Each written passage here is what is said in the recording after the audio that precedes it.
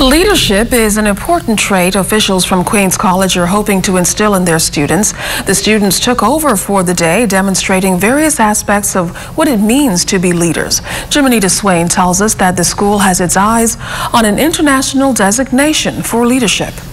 The Queens College campus was a beehive of activity Friday morning as student leaders participated in the 2019 Student Leadership Day. Looking at each child becoming a leader and every aspect of that child in terms of if they're leader of music, leader of activities, leader of whatever, we are working towards building that. One of our habits in terms of habit eight is to find your voice. So we want to develop a sense of confidence in our students and all of the habits from habit one, be proactive, where we tell them you are in charge of yourself. You are responsible for, for the things that you do in terms of making choices.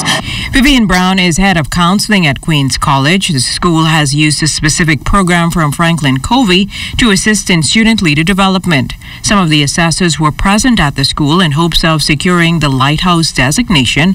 Franklin Covey's regional director for the Americas, Jordan DeMoe, explains what the program is all about. So, the Leader in Me is a, a whole school transformation process that provides teachers and administrators uh, tools and best practices that help them to develop the whole child in a school. It's it's inspiring. I mean, for us, you know, we come in and, and, and provide them with, with the process, but they do all the hard work and um, uh, so they would definitely be the kind of school that we, we would want to see as a lighthouse in this part of the world. One of the interesting things here in the auditorium at Leadership Day seem to be student mannequins. So there's a button that we need to press to find out what's going on. So I'm going to press the button and see what happens.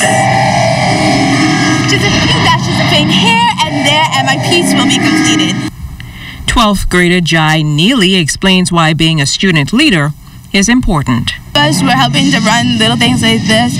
Um, all of us designed each of our booths, so it was a lot of productivity and a lot of um, development of our characters. Former QC alumni, wife of the Prime Minister, Mrs. Patricia Minnis, also participated in the tour, while the Minister of Youth, Sports and Culture, the Honorable Lanisha Rolle, is a proud parent of three students at the school.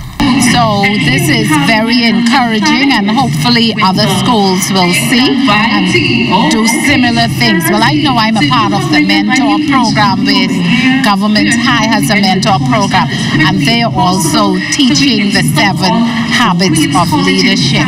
Really enjoy uh, the leadership, uh, the skills that are taught. Uh, my, it has proven to be wonderful experience for my children and to groom them socially, to groom them morally, and actually spiritually as well. And so I, I love it here. For Principal Andra Gibson, the aim is simply to produce better students. Today, we're competing internationally. So the students, when they leave here, need to be able to take their place, not just in the Bahamas, but around the world. And the Leader in Me process gives them an opportunity to refine those what people call 21st century skills. Well, officials hope that this program will be one that will be replicated throughout schools in the country. Jimonita Swain, ZNS Network News.